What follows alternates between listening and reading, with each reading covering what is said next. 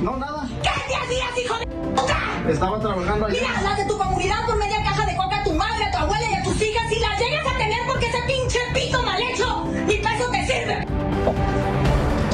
Oiga, qué boquita, que se la laven con jabón. Me sorprendí, me escandalicé. Déjenle cuento.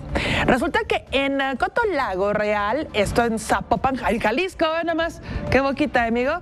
Una mujer insultó al guardia de seguridad porque no le abrió la reja a su familia para que pudiera entrar al fraccionamiento. El portero aseguró que no se da el servicio a quienes no pagan mantenimiento.